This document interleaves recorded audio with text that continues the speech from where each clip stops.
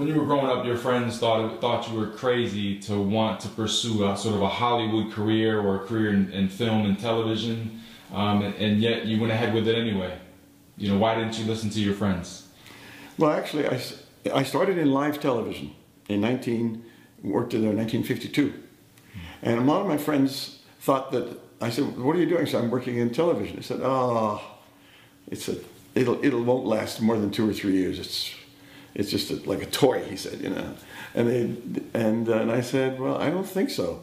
I think it's going to be. They said people are not going. to People are not want. People are going to want to go out at night to. They want to go to the theater. They want to go to movie houses. They don't want to stay at home to be entertained. And I said, well, I think you're wrong. And and um, and then as I watched, I started as a stagehand. But uh, what happened was, of course, when, when I first started to work for the CBC, there was only 200 people working for it. Within a year, there were 2,000 people working. So, of course, the original 200 rose up, were naturally lifted up, and um, I got a chance to direct when I was 24. It's ridiculous. I was the youngest director in Canada at the time. But after a couple of years working in live television, it was a great school, because there were no film schools then, but this live television, every three weeks, comedy, drama, action, suspense, whatever it was, historical, you know. I, um, so I had learned a lot by, by actually working, you know.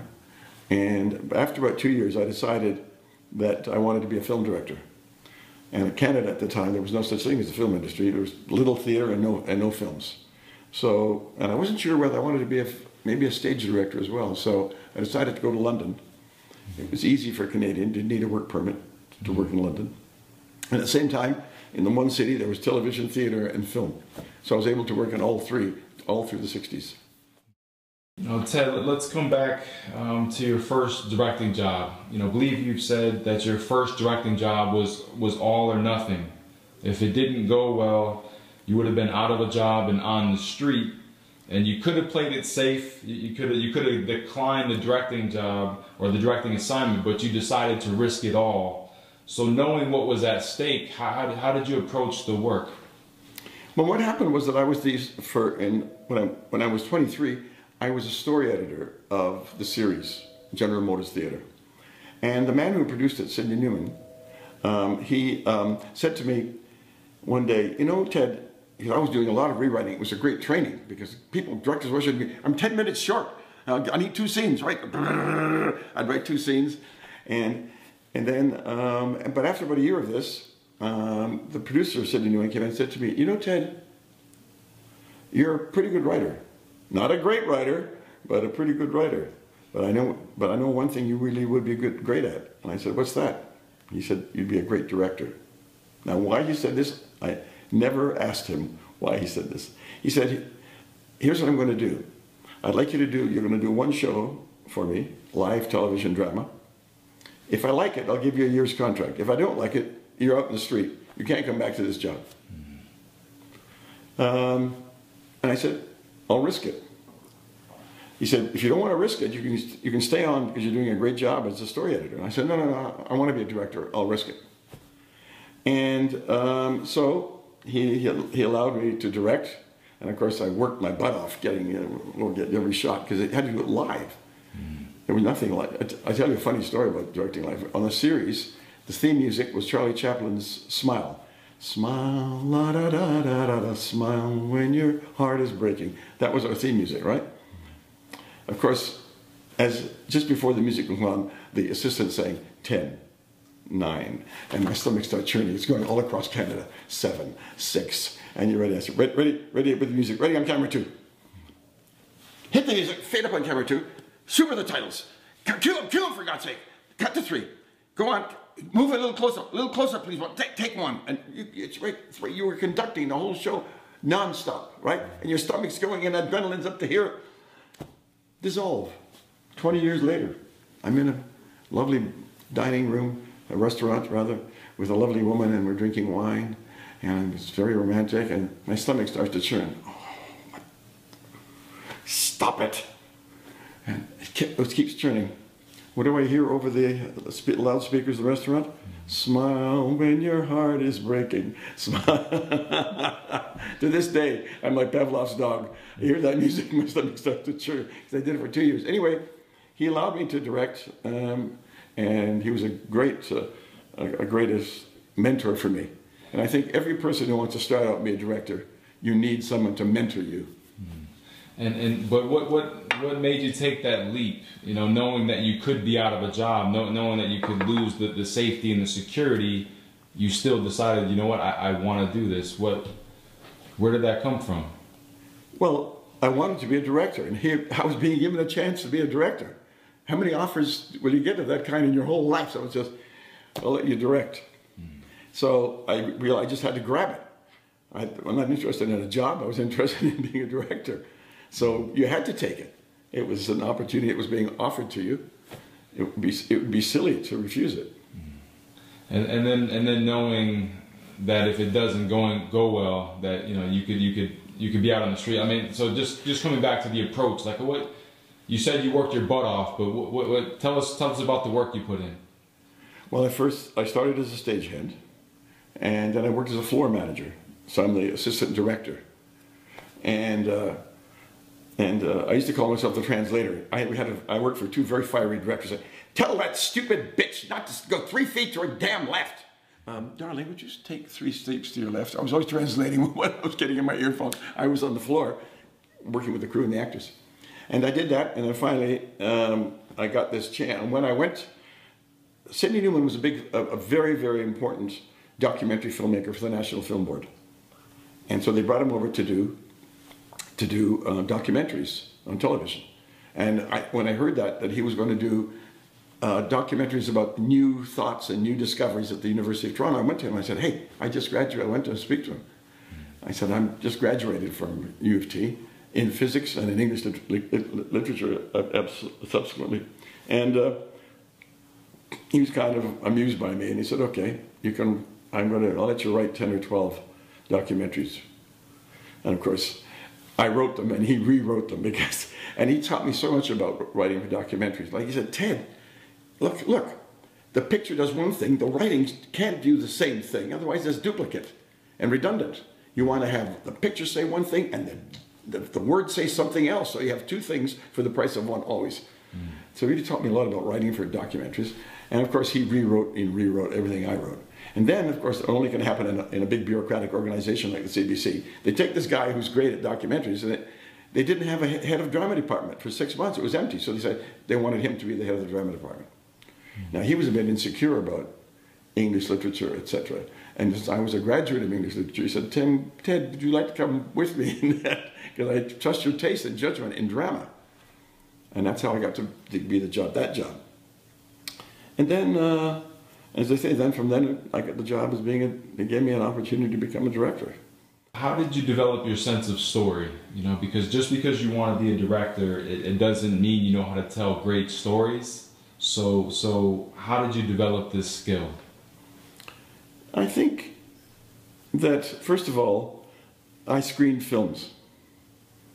I had an eight millimeter projector, and I get all the, the great classic Hollywood film directors, you know, Billy Wilder and all the rest of the people that I admired. And, and I just watched and learned from watching other people do it. Um, and at the same time that I was doing that, of course, I was directing in live television, so I was getting practical experience. Um, but, so I, with the combination of experience and watching other directors, how they did it, I, I developed my skills as a storyteller. I was very lucky to have Sidney Newman as my mentor. And he would always say, um, for example, I remember, I'll give you an example, one thing that jumps into my mind. There was a scene where a, a, a middle-aged woman has been terrorized by her mother and made it, rendered kind of impotent as far as men are concerned, if you know what I mean, mm -hmm. in a relationship. So she dies and she sat in the chair that her mother always occupied and, and delivered her encomiums to her daughter. And, and I thought, there it is, the, the image of her sitting in her mother's chair would be sufficient to communicate. And Sidney said to me, Ted, you're not, you're not getting the full value of, of it. It's too, it's just an ordinary, ordinary bread and butter garden variety medium shot. No, you've got it. So he said, cut to her, her hands, grasping the thing, but at the same time she's afraid of it. Her eyes. And so he always taught, you know, sort of, yeah, you're absolutely right, of course. And I then, then redid it so that somehow it communicated both her excitement, but her fear of becoming like her mother. And, and her all the bad experiences she's had with her mother that are suddenly evoked by sitting in the chair that, from which she always delivered the, the bad news.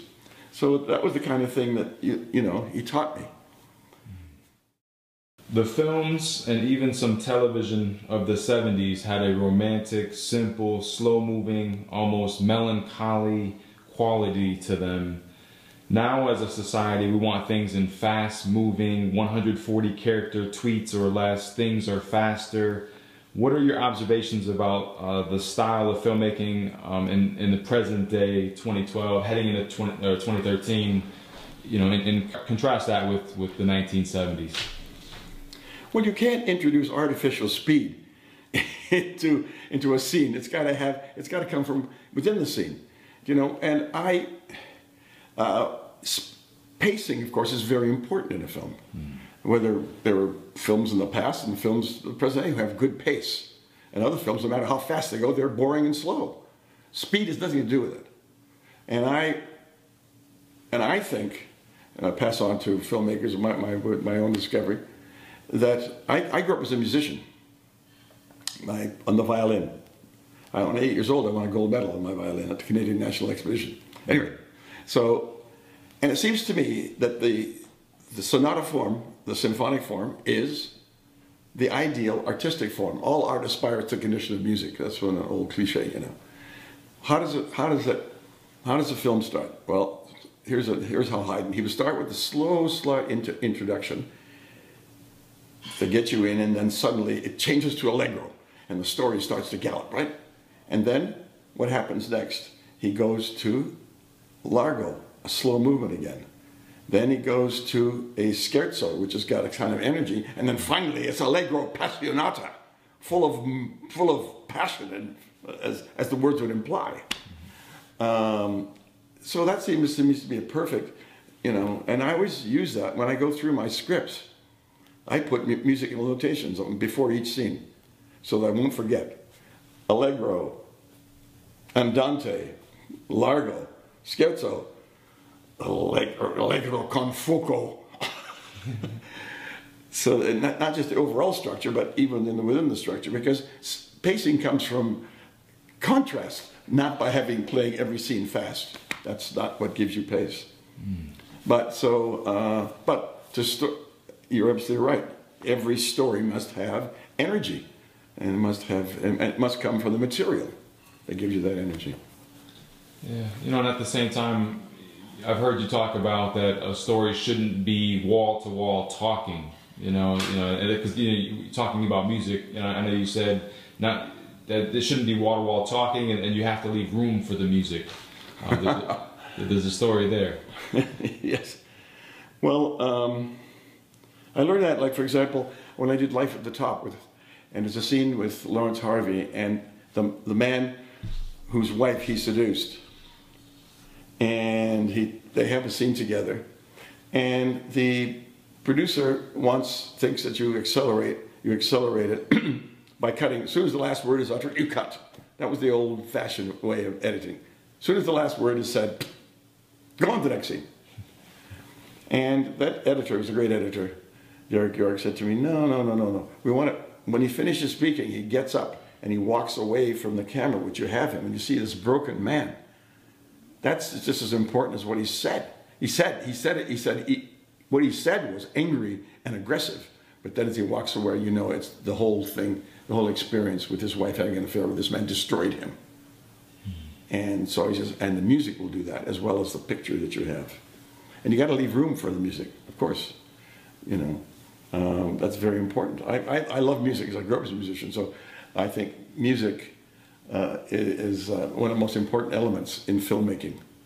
And uh, I've always work very closely with my composers and tell them what I want, what I want the music to say. And again, like I said earlier, it doesn't shouldn't be saying the same thing as the picture sometimes. Sometimes it should underline the picture, but other times it should imply something else about the about the picture. But I, you know, one of the things that's hard to learn, and I learned from Michelangelo Antonioni, the great Italian director. I won't go into a long story about him, but he, by happenstance, because his producer was a friend of mine, he asked me to, he couldn't, he, he thought that Blow Up was too long and asked me to help him cut it and make suggestions for cuts. Because he liked my film Life at the Top and it was a young director and he wanted a young director to do it. So I did it and he used about 15 minutes of my cuts for Blow Up. And then later on, we met in Rome, he took me, rewarded me with a dinner with him. And, and what, one of the things that he said to me was that I said to him, Why do you always have eight writer's credits on the screen? And he said, You see, Ted, uh, when we Italians, uh, when we do cinema, uh, we write, I get this very great writer, I forget his name now, Domenico something. He, does all, he did all the great Italian films. He said, oh, we work together and we write the film as if it is a silent film. So the whole story is told pictorially. And the dialogue is not very important. See, we consider dialogue, unlike you Hollywood directors, we consider dialogue to be sound effects. You see a door slam, you have to hear it slam, don't you? But that's not what's important. It's important that the door has been placed as a barrier between the husband and the wife. So you have, but, but you have to have a slap. And that's what I, he said, all my scenes, the scenes are communicated pictorially, what I want to say. Then later on, what happens is, who should we get to write? He's, who's good at husband and wife scenes? We have six husband and wife scenes in this picture. Who's good at, uh, David Brin. Brennan, oh, he's great. He's great at husband. Get him in. So David comes in and he writes these great scenes. And when he's finished with the husband and wife, he goes away. He gets a then we have a scene that requires, you get the idea. He brought in writers who specialize in whatever things he wanted. But he said he didn't think it was very important. He said just it had to sound convincing. But the story and the situation and the relationships are done pictorially. And I learned a lot from him. It had a big influence on me, that, that dinner. That don't think of communicating the story verbally verbally should be the icing on the cake. The cake should be the pictures. You have been a, a director. Um, I've also heard you, you say realizer for over 50 years. How, how long did it take you to master the craft of, of directing, of filmmaking? You never stop learning how to make a film. I've directed since 1955 and I'm still learning. Um, all art is like that. You never and if you ever get self-satisfied, that's the, you're finished. you always got to, um, you know, the great line by Ezra Pound about art, make it new. That's my motto. I used to have it over my cutting, my cutting rooms. Make it new. Don't do the thing you've done in the past. Make something different, equally valuable, equally valid, but make it new. So I think that's, uh, that's always been, to say, the motto of my work. How important has, has writing been to your career as, as a director? Writing? Writing. Well, um, I've always admired writers. Um, uh, as as, Tony, as, as uh, Sidney Newman said a long time ago, I said, "You're a good writer, not a great writer." but in filming, um, in a film, I like to structure the, lay out the story to structure the story. There's no such, writing is a very ambivalent term in, in films because there's the dialogue and then there's the pictures. So I like, and the structure. And I think the most important thing in a film is to get the structure right. So that it starts and whatever builds and gets something, and you do the exposition and then you get deeper into it and then the, the drama builds and then you get a climax and then it should gallop towards the end. I mean, to me, that, and laying out, laying out the structure of the film so that generates that energy and one picture leads inexorably to the next picture, which leads inexorably to the next picture. That's what really provides the pace that we were talking about earlier. Um, and so I, that to me is, I try to lay out the picture as much as possible what I want, what I want it to do pictorially. And then with, with the writer, of course, not, we, we work together. But the dialogue, I'm not. I like fresh dialogue, and I I, I like um, my dialogue is not the freshest, and I like to get a good writer who will write me fresh dialogue and interesting dialogue, and somehow complement again, complement what the pictures are doing, but not but not uh, reinforcing them. And how much room would you leave for improv in your pictures? Well, I think that's that's a that's a very difficult question. Uh, um, I think it, it, there are situations when you do, and I let the actors. I like working with actors. I like actors. I like working with them. I studied acting, not not to be an actor, but to to know what the process was and try, if I can, contribute and, and assist the actor in giving the best possible performance that he can give. And um, sometimes, you know, you put the you, you get terrific actors when they're put in a certain situation, they come out with the most amazing revelations about what about the situation about themselves in that situation. And uh, but some and so of course you use it, but then some actors are incapable of it and really would like to stick stick with the material they're given. But of course it has an important part to play, like anything else. I mean, as much as I plan, for example, my shooting, I know exactly when, I, when I come in in the morning. Yeah, you stand there, you stand, blah blah blah blah blah, blah and, uh, and then and then I say, wait, wait, wait, wait, wait, wait, no, no, no, no just do the scene again. And I see something in the scene, like I did two gentlemen sharing. It. It's totally unexpected what happened. This white man and this black man meet for the first time, and what they and when I, they said the scenes in the script, but I saw something I'd never seen before. Some new, a new energy had been generated, a new feeling, and, I said, no, no, this this this this, staging doesn't work at all. And so I, I improvised that improvise. But of course, you have to respond to what they're giving, what the actors are giving, and what the situation is getting given. So yes, improvisation can be both not just the, the dialogue, but in terms of I improv. Sometimes I improvise the whole staging. Ted, you know, one, one thing we really wanted to know from you is how often did you have to fight for your next directing job? You know, because when you look at your credits, I believe it's it's 49 directing credits, and it almost seems to come seamlessly, you know, and, and so many filmmakers that I know that, that I'm around, it's like that next project is such a big fight. Um, and it almost appears on, on, your on your side of things that project after project has been lined up. So I would just love to hear about um, from from you. How, how often did you have to fight for the next film? It's always a fight, David. It's always a fight. It never comes easy the lucky thing about me was that I worked, was able, I was interested in the theater.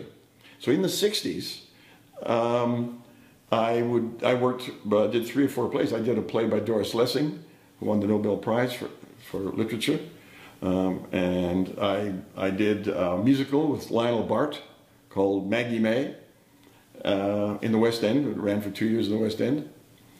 So I was always so, if I got stuck, I would go, you know, and films are expensive things. They're not easily given. I mean, you think someone's going to give you, tw- okay, all right, David, here's $25 million. Come back with the film. Think about it. So you get, I always feel a tremendous responsibility when people give me huge sums of money and I've got to produce something that's hopefully will make some of the money back. But uh, it's gotten more and more difficult, I think. I don't know that's a, whether that's a function of my age or whether I think it's a, but, not, but I, know, I know it's not my age because I know a lot of directors and I know a lot of writers, I know a lot of producers in this town, and they're all making the same complaint. Ever since the recession, the banks are not lending any money. Filmmaking is based on banks lending you money.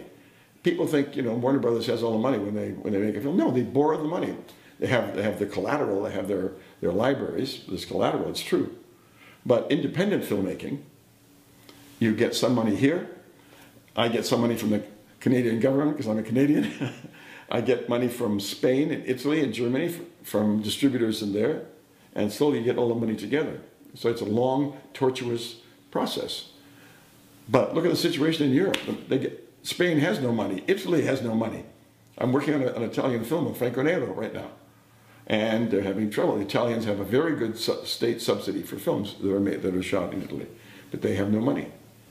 So it's very difficult right now. A lot of independent producers and directors are complaining bitterly. It's, but uh, it's but it's all it's, it's just it's all a matter of degree. It was always difficult, but now it's more difficult than it was in the past. Mm.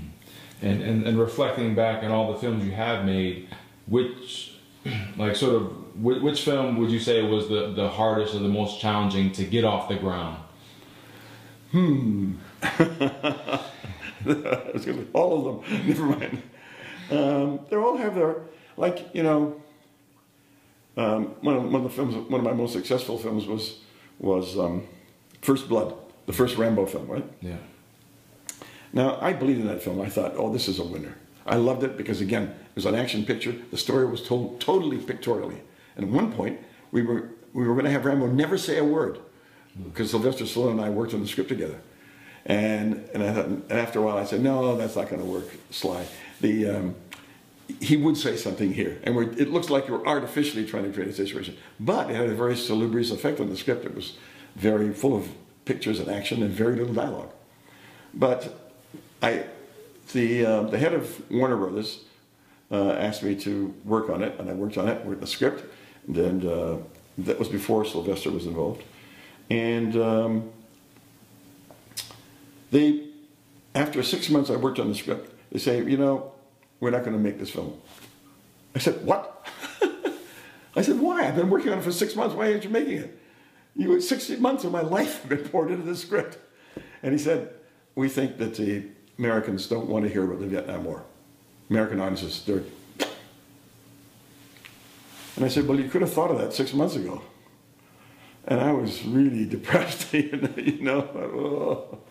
So a year goes by, and two producers, two new young producers, had a small company called Carolco. And Mario Kassar was one of them, and, he, and uh, Andy Vajna was the other one.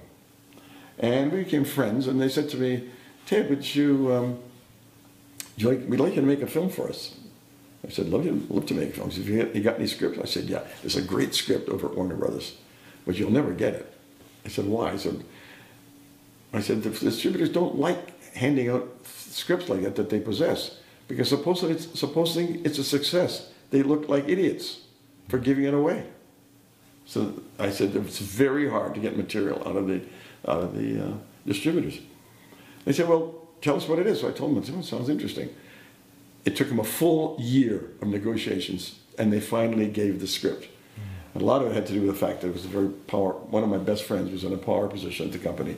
I don't want to embarrass him with naming his name, but he helped me to get it because he knew how much what I, how I cared about it.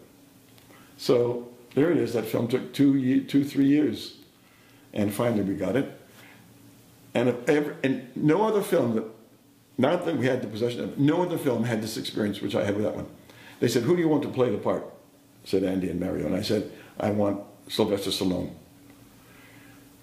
And they said, "Are you sure?" And I said, "Yeah." They said, "Well, you know, his his reputation is a bit right now. We had several flops after Rocky, a F.I.S.T. and etc." And I said, "No, he'd be perfect for this part. I know. I want him." So we phoned him up on a Tuesday night, sent him the script. On Wednesday morning, he said yes. Usually it takes like six months for the first star to say yes. yes, I, wow, I can't believe this. One, 12 hours I get a response. So, so for all the difficulties, suddenly the most difficult part, usually that came easy. You know, you've had the opportunity um, to work with plenty of actors, you know, over the course of your career. Um, even heard that you've auditioned over 26,000 actors during your time um, with SVU. Um, what, what, what, makes, what makes a great actor? Well, great actors like Gene Hackman, Nick Nolte, uh, James Woods, I've worked with some. The thing about great cinema actors, it certainly is uh, realized in Gene Hackman. He represents his really an amazing cinematic actor. I mean, his performance in The Conversation. One of the most difficult things is to play an introvert, and he played that introvert, and you knew there was sweat in his brow. You knew exactly what he was going through. It was an amazing performance, and working with him was extraordinary. I think what it is is, well, in his case, in in films, he wasn't acting the character. He was the character. It wasn't acting, it was being. I could ask, I could ask him to do anything. Uh, Gene, stand on your head and read the Bible backwards. Okay. Because he would do it exactly like the character. So he had no, he had no, no inhibitions about doing anything I asked him, even if it sounded ex- extreme or ridiculous or foolish, he'd do it. And it came out brilliantly because he was the person. And he needed, he would develop the script like two months in advance. He wanted the script always that way so that by the time he went on the, on the set, he had no problems about it. It was an extraordinary. And I, I remember being with him. We were always, we were good friends. We were both like wine and we were shooting in Bangkok. And I said, let's go to the uh, Oriental today and have dinner upstairs. I said, I got a great wine list. Yeah, okay. We're talking with this. And I hear the AD saying, roll out cameras. And I said, uh, what time should we go down? I said, speed. And I said, oh, uh, Gene, we'll talk later. Action. And he just turned from me and he turned. And from that moment, Gene Hackman turned to the colonel. Gene, how the hell do you do that? I never, mean, even I who've seen a lot of good, I, never could believe the, the depth that he would get to. Now, Nick Nolte, another, so that, because I think the, the worst curse on a film is you see the actor acting. Uh, forget it. You know I mean? If you see acting, sometimes you see, you see the machinery working. It's, it's a killer.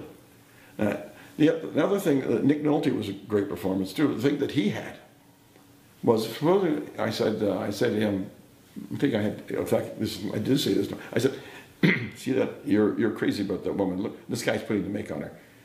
You're jealous and a bit irritated, and perhaps the kind of level of anger, at what he's doing, laying down sand with the woman you love, and um, okay. Now, mediocre directors have jealousy written on their forehead. Yeah, it communicates to the audience, and it's it ain't terrible. But Nick was able to communicate it and put it down to the right level, the right level of, of his emotional being.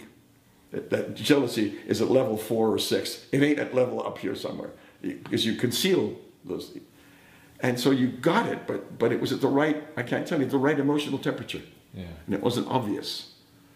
So that's always heartening to a director when a guy realizes you, you've given him an obvious direction and he makes it real and deep and profound. You know, when, when you do work with actors and you do see that they are acting and you can tell that they're acting, how do you approach that? How, how do you get them out of that state and, and so that they are the, the character? Well, I try not to hire actors, first of all, who don't have the skills. Uh, but, um, well, you just have to, I mean, good actors respond to direction. You say, look, don't make it so obvious. It's a simple thing sometimes, you know. Um, and, um, or you say, get, get, give it more edge or give it, you know, or whatever you want to do. In the rehearsals, of course, you explore the emotions. You know, I like, in my films, I always rehearse before the film starts. Not, not many, not many directors like to do that. Some do, but I, I rehearse at least a week beforehand, and sometimes ten days.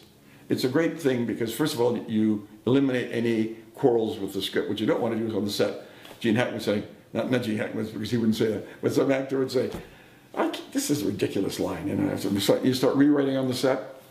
It's a time killer. Time is the most valuable thing in a film you have. It costs about two hundred dollars a minute to shoot. And so if you waste five minutes, you're blowing a thousand dollars, you know. So I try to, in the rehearsals, first of all, it eliminates the, the obvious thing of, of difficulties with the script. But two, then we just explore the character, go deep into the character, discuss what we want, where, where, where this should come out, where this aspect of the character should emerge, and what part of the film it should, you know, this whole structure, the, the flow of the character. The horrible word that comes that they use in is the arc of the character, but but it's a it's a useful concept because that is the arc where it starts, how it develops, and where it finishes. Mm-hmm. And that also provides the energy and the structure of your film. So, um, but yes, it just, you know, you have to find the right language for every actor. Now, I would never, with Gene Hackman, ever give him a psychiatric direction. You're doing this because your mother abused you. Some I've heard directors say that to actors, you know, and uh, you never give him because that, that just says, don't, don't, don't, you just screwed up my mind. he likes, Elliot, when I met him, he said to me, Kotcheff, I only want three directions from you. I said, yeah, what are those, Gene? This was our first meeting. faster, slower, more or less, louder, softer. Faster, slower, more or less, louder, softer. Okay. of course, I, I ignored it. but they gave him the right direction, you know, the right language. He loved it. And you have to find the right language for every actor you work with. You can't give, some actors love psychiatric, what I call psychiatric directions. Others, you know, as, as Gina, find it appalling. Um, so every actor uh, has, and you have to find the right language because you're working with them. Because you know, it's a very intense relationship, director and actor. They house, it's like husband and wife. You know, you're interlocked, and it won't take long before you find out what, what moves him, what triggers him, or her, or her. And, uh, but to me, um, you know, sometimes I've been, been, approached recently by a distribution company and said, Kotcheff, are you an actor's director or are you a shooter? What? Are you an actor's director or are you a shooter? I said, I'm both. What are you talking about? I like directing actors, but I certainly, the camera has the angle, which I look at the angle or the way, the way I photograph it is equally important. They're both, oh, a lot of actors, a lot of directors don't like to direct actors. And I said, well, I'm not, I'm not one of those. I like working with actors. It's the fun of directing, exploring, exploring the scene with them, and getting getting good performances. I think that's part of the job as a director. That's the way I conceived of direction. What are the vital things you have to to know to be a professional director? Well, you know, I often I speak at film schools. I'm invited sometimes to speak at film schools. I don't search them out. um, but I feel that too many films that I see by young directors are kind of totally derivative from films. They know nothing about life. It's all that what they know about life is derived from watching films. And so you, getting back earlier, you sink into cliches and you don't make it new. You can't make it new. I, I, people ask me, did you go to film school? I said, no, but almost. I said, what's almost? Well, I worked in a Swift's packing house, abattoir. I worked at Goodyear Tire and Rubber. I worked in restaurants. That was my film school. what do you mean? I said, well, I watch way people work and they live and interconnect. And, and I think that, I said, when I worked at Goodyear Tire and Rubber, I said, that stood me for a whole lifetime of directing, all those people that, that I worked with. And uh, so I think you should go out and get jobs. But this is not necessary. this is not, i am not trying to suggest this to everybody. Some people are capable, have the insights already. There's some great, Alma Almodovar, I'm some great Spanish director, and others. Um, and I think like Anderson, who just did Master, I don't think he knows his knowledge of life is so deep. Yeah, I'm sure he didn't work in an abattoir. But for whatever it is, but, but you're not, you've got to have some knowledge about life. You know, that's the most important thing. You've got to make a statement about, about the, um, I, it's funny, when I went to Australia to uh, make this film, Wake in Fright, um, which is going to open on October the 19th at the Nuart Cinema, um, and I'm going to introduce it and Q&A it. Um, a man came up to me and he said, you're here to rubbish us, aren't you? This was an Australian, out in the outback. You're here to rubbish us. And I said, no. He said, oh yeah, you're going to here to rubbish us. I said, listen here, I don't know you well enough to rubbish you. And anyway, I'm a director. I don't criticize. I observe and I empathize. And to quote my culture hero, Anton Chekhov, he said, I, I'm not the judge of my characters. I'm their best witness. And that sent, a, that sent a shiver at my backbone when I read that. I am not the judge of my characters. I'm their best witness. Um, I'm their, be, I'm their best witness. So when I made Wake in Fright, the character Duddy Kravitz. Duddy Kravitz does horrible things, but somehow I want to get inside what making him behave like that. And that's what interests me. It's not judging people. And you, that's not that's not art. That's, that's not directing. That's not writing. That's, that's nothing. I don't know what that is. That's, that's for the courtrooms. Um, so I think the knowledge of the human heart and the human soul, however you arrive at it, I had to go and experience it. Some people have instinctive knowledge of, of the mechanisms of the human heart. Um, but you, I think that's the, to me is the most valuable thing in be, being a film director. What What's the proudest moment of your directing career? Well, I I don't know what my proudest moment is. I know the films that I am proud of, and I think equally there's no. I think the, this made, film I made in Australia, Wake in Fright, um, The Apprenticeship of Duddy Kravitz with Richard Dreyfuss, uh, with Nick Nolte, uh, North Dallas 40, um, Wake and uh, First Blood with Sylvester Stallone. Those are the films I think. Um, and also in terms of comedy, Weekend at Bernie's. People always ask me, how come you, you, you do all the genres, don't you? I said, I do films that I love and am interested in. Um, I've, I think that the, uh, you have to, a film takes a long time to come to a to fruition and you, the, the preparation and then the shooting and then the editing is a long run out process.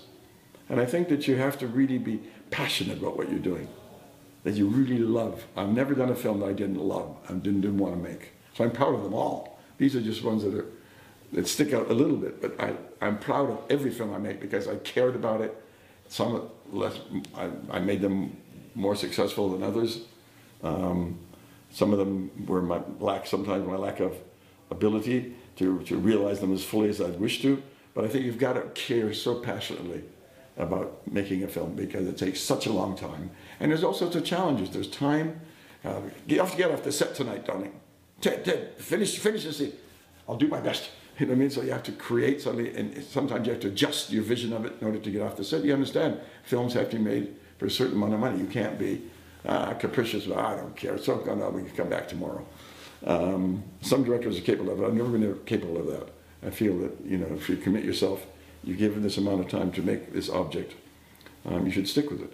But um, and I think that there's so many, and I think so many distractions. People are just when you're shooting a film, so many people are to distract you from your vision of it, and just no, no, no, no, no, no. I, I have this vision. I do it like this, you know. And sometimes people, producers, try to um, change your mind about things, and I listen. Not that, I, not that I'm impervious. Sometimes great ideas come. I've had, I've had uh, a, a stagehand come up and tell me, great, "Oh, that's very good. Thanks very much." I'm going to get the credit for that. He ain't going to get the credit. but on the whole, um, good producers. Robert Lantos, I worked with him. I did. Uh, I did. Uh, Joshua Then and Now with him. He was a great producer in as much as he he would make he had intelligent suggestions. They were always intelligent. And they were never stupid. Or, and they never indulged in pissing contests. Some producers want to indulge in pissing contests with you. Uh, and he never did that. And he made a suggestion. If I made the slightest move, no, he, oh, it's just, just an idea. If you don't like it, don't do it. But he always had something provocative about his suggestions. And the good producers do that. Some producers, I say, can act destructively too. And you, so you need you need your deep commitment. If you're doing it just for the money, you have no moral basis for what you're what you're doing. Because you're doing it for the money. Well, can we do this? Is more it'll be more attractive to the audience if he. Did. Yeah, sure, if you're doing it for the money. But I just I don't know because I I do it because I want to do it and I and I want to keep the artistic integrity. The word artistic integrity brings back a memory. I, I my second film was Life at the Top, which I shot in England with Laurence Harvey and Jean Simmons. And uh, there was a screening of the film for Philip Epstein and Julius Epstein. They were, they were the two great writers, wrote Casablanca and many great films of the 40s and the 50s. And the producer was a friend of theirs and invited them to see the film. And I sat next to Philip Epstein after the, after the uh, screening. He said to me, Ted, he said, you're, you're going to have a wonderful career as a director. I predict that. I said, from your mouth to God's ear. And, and then and he said, so, and you, you'll, be, you'll fight for the artistic integrity of your film with all your might and your mind and your soul. You'll protect it against people who want to interfere with it. But can I give you a word of advice? There's two areas. Don't bother wasting your energy because you'll never win this battle with distributors. I said, and what are those? He said, titles and endings. And um, and it, it happened, and it, it, it, happens. I lost over this film, Wake in Fright, that I made in Australia. Um, United Artists, when they distributed it in New York, uh, changed the title to Outback. And I said, Outback sounds like a National Geographic documentary. What, what's, what's the matter with Wake in Fright? He said, sounds like a Hitchcock film. I said, that's bad. but I didn't win that fight. It came out as Outback, even though I, I thought the, I thought it was, I thought, I didn't think it was a very commercial title even. Oh, what does it mean, Outback? You know, Outback where? Outback of your house? but and Wake in Fright was what the film was about. A guy who suddenly discovers, wakes up and sees what, the person he's capable of being. He doesn't like what he sees. Anyway. No, let's stay right with that. I mean, what what did you expect upon the release of Wake in Fright in 1971? And and now, what do you expect 40 years later, it being released um, right now? Well, when I made the film in 1970 in Australia, um, and and I, I thought the film was beautifully written and it was well realized, and and uh, however, when it was when when it was when it opened in Australia, I think the Australians kind of responded badly to what they thought was a kind of a unsympathetic depiction of the Aussie male, scurrilous, and uh, so nobody. It didn't. Although it got very good reviews from the Australian film critics, nobody came. Um, but the picture had a certain kind of reputation, but uh, commercially did little. Then, then the film went to the Cannes Film Festival and of course it was thrilling for a young director like myself to be invited to go to this iconic film festival, the dream of every filmmaker to be invited. Um, and um, of course, uh, the French loved the film. The French love that kind of men under existential stress, etc.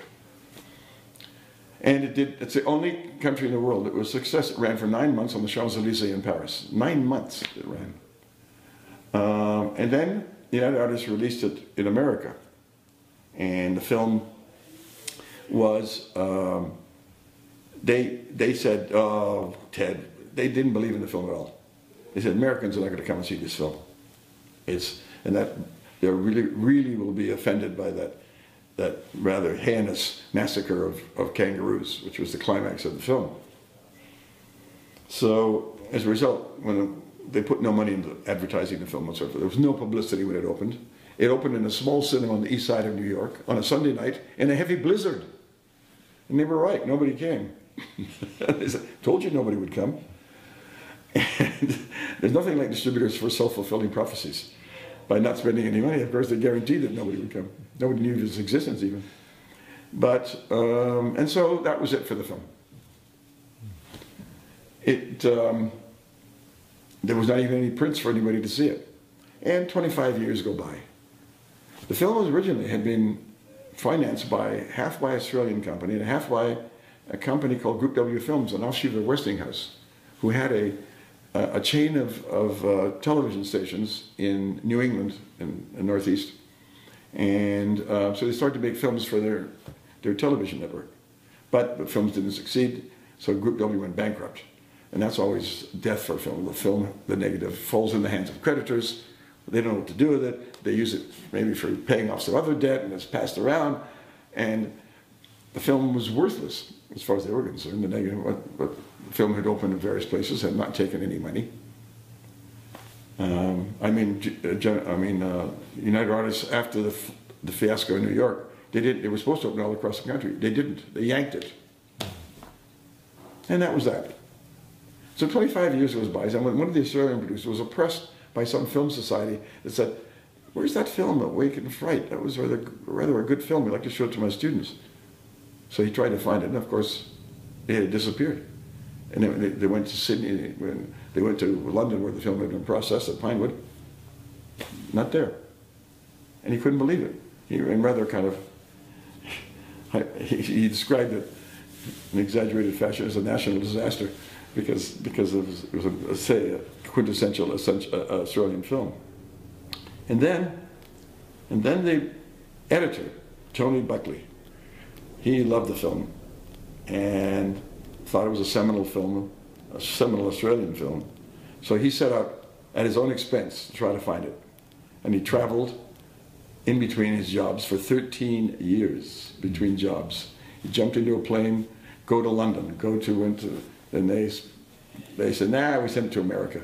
After we, he went to Dublin because they heard rumors that there was a print in Dublin, but it turned out to be not the case. Not a usable print anyway. And he went to New York and looked around. He 13 years. Finally, he found the negative in a warehouse in Pittsburgh in two huge boxes. And it had big red letters on the box for destruction. Had he arrived one week later, they would have incinerated the, the negative and the film would have disappeared forever. So I think that story intrigued a lot of people. In Australia, it was huge that they'd found this thing. And the Australian archives come and got the film. Then the negative, once they, yes, they found the negative, but it was useless. It was scratched, torn, damaged, faded. Mm. And there's another extraordinary man who loved the film and worked at Deluxe Laboratories in Sydney called Anthos Simon. The next two years of his life, in his spare time, he digitally restored the film frame by frame, produced a negative, which produced a positive. It was unbelievable colors and clarity and intensity. Mm. And that, that, that copy of the film is the one that's going to be shown here in Los Angeles and across the country um, next, next Friday, October 19th, at the Nuart Cinema. That, that. Um, so, I, and I think that, um, and this time, the film was released in Australia, and people flocked to it. It was extraordinary, and, and, uh, and now it just uh, now it was opened opened in New York, and people it was sold out every night and got unbelievable reviews for it. I was couldn't believe it.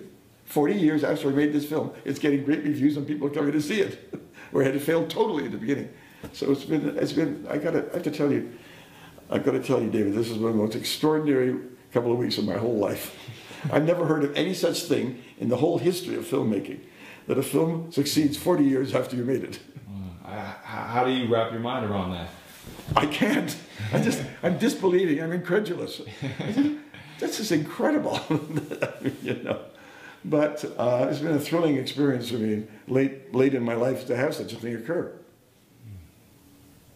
You know, one thing you know we often cover, you know, on Film Courage, you know, we often talk about you know one horror story or another that comes up through distribution you know and you have your sort of your own horror story with the way it was originally distributed and you kind of covered a little bit. I just wondered if you can talk any more about the frustrations of, of the original release in wake in fright um, and then maybe contrast that with what's happening now with the film.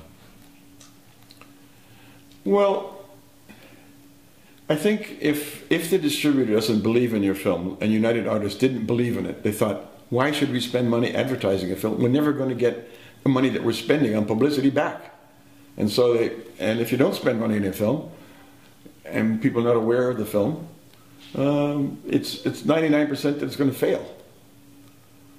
And it is, of course, it it's it hurts. There's no, I'm not going to lie to you and say it didn't hurt. It hurt.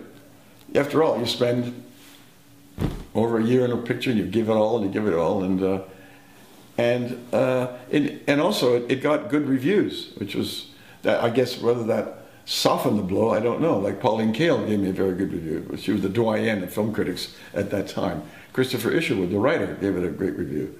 Rex Reed chose it as one of the ten best of 1971. So it got terrific reviews. So I guess that at least made me feel a bit better. But no, you want you want obviously you make a film for an audience, for an audience to come and see it. You want to share it with them. And if they don't come, it was a, it was a blow. But of course, I was I was young, energetic, and I got on to the next film. And I made and I made I, lit, I, lit, I made a western with Gregory Peck right afterwards. And I made the punishment of Eddie right afterwards. So I, I was hopping on one film to another at the time.